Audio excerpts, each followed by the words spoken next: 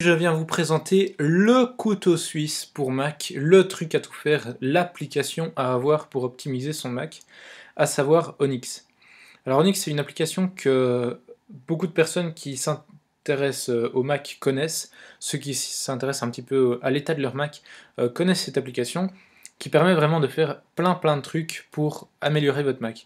Alors la première chose quand on lance Onyx, qui est téléchargeable dans la description de la vidéo gratuitement, euh, il vous propose de vérifier l'état euh, smart du disque. Euh, alors, je préviens directement, je fais cette vidéo parce que on me la demande beaucoup. Euh, j'espérais avoir le temps de bien me documenter là-dessus, mais on me la demande tellement que finalement, tant pis, je la lâche. Je ne saurais pas vous dire tout ce que Onyx peut faire. Il y, a, pas mal de trucs que je ne saurais pas vous dire, donc je vais vous présenter deux trucs en particulier, mais ça, on verra par la suite. Donc là, par exemple, l'état smart du disque, je vois pas du tout ce que c'est. Euh, mais si vous faites continuer, il va vérifier son état, il va fermer toutes les applications pour pouvoir vérifier, etc. Moi, je vais faire annuler. Euh, vérification de la structure du volume, même chose. Donc là, il, vérifie un peu comment ça se passe sur votre Mac et tout. Là, je mets un mot de passe. Hop. Et alors ici, il vous informe de plusieurs choses. Euh, lisez ça avant d'utiliser Onyx. Euh, pour, être sûr de ce que vous faites. Parce que le problème, c'est que Onyx, donc là, je vous demande de faire euh, assez attention à ce que vous faites avec cette application. C'est une application qui va toucher à tous les fichiers système de votre Mac. Alors, ça peut être très très intéressant, mais si vous ne savez pas comment l'utiliser, ça peut être très mauvais aussi, et vous pouvez supprimer des trucs qui vont complètement faire planter votre Mac, et au final, euh, ça va être mort quoi il va devoir partir en réparation et tout le bazar. Donc faites attention à ce que vous faites avec cette application. Mais si vous vous y intéressez un petit peu, si vous vous documentez, si vous regardez déjà cette vidéo, ça va vous permettre d'un peu voir plus ou moins ce qu'on sait en faire, ce qu'on sait en tirer. Alors la première chose, donc on se retrouve sur ce menu-ci. On va aller dans vérification. Euh, ici, ce sera les, vérifications qui venaient de faire. Donc ce que je viens de zapper, ce, que je viens d'annuler, si vous avez fait confirmer, vous aurez toutes les, toutes les vérifications euh, ici dedans. Enfin, vous avez quelques préférences euh, qui peuvent vérifier aussi. Donc, ce n'est pas des préférences pour les vérifications que va faire Onyx, c'est euh, ce, que, ce que vous voulez que Onyx vérifie comme préférence que vous avez fait sur votre Mac. Donc, vous avez préférence de l'utilisateur, au cas où vous avez plusieurs sessions, et préférence système.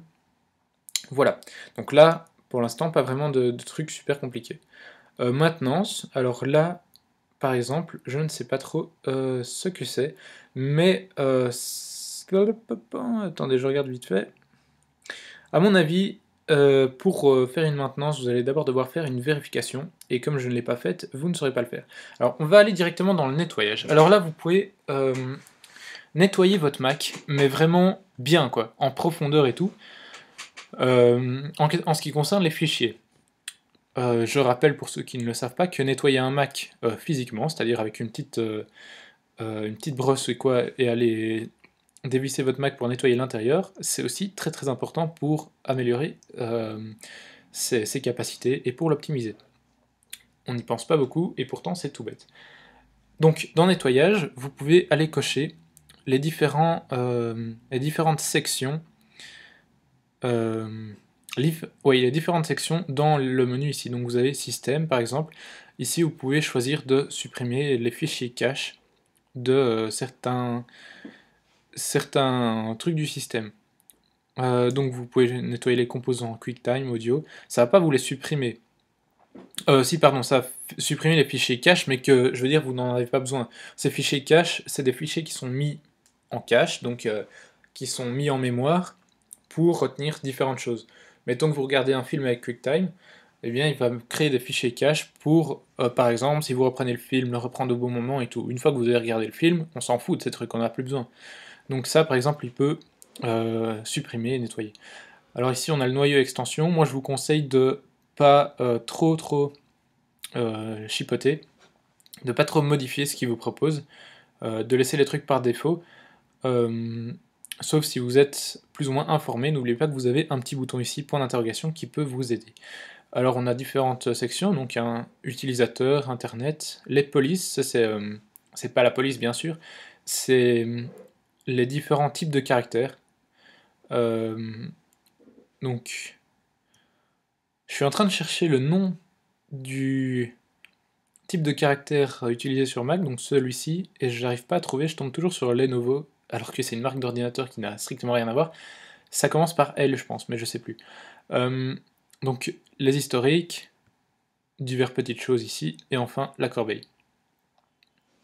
Euh, vous pouvez faire ça avec un effacement simple ou sécurisé. Euh, l'effacement sécurisé de la corbeille, ça vous permet de supprimer vraiment complètement les fichiers. Alors c'est une suppression, c'est, enfin, le vidage entre guillemets de la corbeille va prendre beaucoup plus longtemps, mais vous êtes sûr d'un côté que votre ordinateur est optimisé, d'un autre côté, bon, on va partir dans des scénarios un peu bizarres, mais euh, si un pirate euh, arrive à choper votre ordinateur, un pirate est capable de retrouver, un bon pirate en tout cas, un bon hacker, est capable de retrouver des fichiers qui ont été supprimés si la suppression a été faite euh, de manière simple, comme la plupart des gens font en général. Si vous le faites en mode sécurisé, théoriquement, il ne sait plus rien retrouver. Donc voilà, ça c'était pour les types d'effacement. Utilitaire, ça je ne sais pas à quoi ça sert. Voilà, on a plein de, lignes bizarres. Euh, je sais pas du tout à quoi ça sert, très franchement. Alors, automatisation non plus, on va passer directement à paramètres. Alors, paramètres, c'est un, truc assez intéressant, ce qui concerne euh, l'optimisation et aussi un petit peu la customisation. Donc, on va aller voir ça vite fait. Euh, alors, par exemple, vous pouvez choisir pour les captures d'écran, vous pouvez choisir le type de format des captures d'écran. Vous pouvez les faire en PDF, en JPEG, en GIF, en BMP, en PNG, ça c'est par défaut, en TGA, en TIFF, euh, plein de, types différents. Donc ça c'est intéressant quand même. Vous pouvez choisir où est-ce qu'elles seront enregistrées, le nom par défaut, en sachant que euh, le nom d'une capture d'écran c'est le nom par défaut plus la date et l'heure. Ici, vous avez différentes choses aussi. Vous pouvez choisir un fond d'écran animé, donc euh, une vidéo comme fond d'écran, ou un, GIF animé, c'est amusant aussi. Euh, je vais essayer de vous trouver les trucs que j'avais trouvé sympas. Hmm.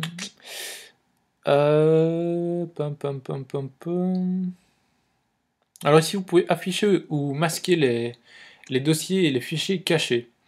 Euh, bon, c'est les fichiers système, donc moi je ne le fais pas en général, mais si vous voulez qu'un fichier euh, normal, vous le transformiez en fichier caché, vous cochez ça, ensuite vous renommez votre fichier ou votre dossier avec un point comme premier caractère du nom, hop, et vous remasquez, et votre truc aura disparu. Vous devrez chaque fois venir cocher et décocher l'option ici pour pouvoir le retrouver bien sûr. Euh, dans le doc, on a différents effets. Alors par exemple, ça je vais vous montrer pour... donc Merde. Excusez ce mot. Euh, par exemple, ce que je vais vous montrer, c'est qu'on va le mettre un doc en bas, ancré à droite. Pas tout de suite, mon coco. Et avec un effet 2D transparent. Hop. Regardez ce que ça donne. Voilà. Donc on a un doc avec un design qui est en général le design qu'on trouve sur les côtés, pourtant il est en bas. Donc ça peut donner euh, pas mal au niveau de, de, de la customisation, et alors j'avais demandé aussi de le mettre ancré à droite. Alors ça c'est marrant aussi, vous pouvez le mettre à droite, mais pas ici, c'est juste euh, ici, sur le côté quoi. Donc je vais, euh, bah, je vais le laisser, je remettrai ça en off. donc ici vous avez plein de, petites... de petits effets, de, petites, de petits paramètres. Euh, que vous pouvez modifier. Donc là, vous pouvez y aller euh, sans problème. Donc je vais pas tout vous montrer, hein. il y a pas mal de choses euh, qui, qui peut avoir beaucoup d'utilité ou qui n'en a absolument pas. Alors ici aussi, ce qui est intéressant, ce que je ferai dans une prochaine vidéo, c'est modifier le fond d'écran de, de l'écran de, login. Quoi. Quand vous allumez votre ordinateur pour, pour vous connecter, quoi, vous avez ce fond là, ben, vous pouvez le modifier pouvez également modifier le logo de la pomme. Enfin, vous pouvez faire pas mal de choses. Euh, c'est assez intéressant, modifier le spotlight, toutes diverses, petites choses. Là, il n'y avait pas grand chose, hein, si je me souviens bien. Ouais, voilà. Euh, pas, pas énormément de choses très intéressantes, mais enfin, c'est toujours sympa. Euh, ici, vous avez plein d'informations. Alors ça, je vais zapper. Donc, je cacherai ça. Waouh. Je me suis fait avoir à mon propre jeu Ouais, non, parce qu'il met euh, le numéro de série, l'identifiant unique, universel, enfin plein de trucs euh, personnels. Donc ça, euh, c'est masqué pour ça. et enfin, l'historique, c'est voilà, historique de l'utilisation d'Onyx. Je me demandais ce que c'était. Donc voilà. Donc comme vous pouvez le constater, j'ai pas une connaissance très très approfondie de ce logiciel, mais en même temps, c'est un truc tellement complet, semblant de rien. Hein. Il y a juste un petit menu, mais c'est vachement complet. Donc c'est pas très très facile de s'y connaître à fond là-dessus. Mais comme ça, euh, vous savez que ça existe. Et n'hésitez pas à utiliser euh, ce, bouton et l'aide et tout ça. Donc allez sur le site aussi. de toute façon, je vous mets le lien euh, pour le téléchargement et aussi pour le, site, donc euh, tout ce qui est info, forum et tout ça, si vous avez des questions, parce que je pense que pour ce genre de logiciel, c'est assez important de savoir ce qu'on fait. Et, donc voilà, euh, c'est tout pour cette petite vidéo, enfin petite, qui est quand même assez longue. on va quitter Onyx. Donc je me retrouve moi avec un, doc, certes personnalisé, mais complètement pourri à mon goût, soit. Donc euh, bah, c'est tout pour cette petite vidéo, j'espère que vous l'avez aimé. N'hésitez pas à laisser un pouce vert, c'est super important je trouve pour euh, encourager vos youtubeurs, que ce soit moi euh, ou d'autres youtubeurs. Si vous aimez ce qu'ils font, mettez un pouce vert, c'est hyper encourageant de voir les pouces verts. Et puis bah, on se retrouve très bientôt pour de nouvelles vidéos.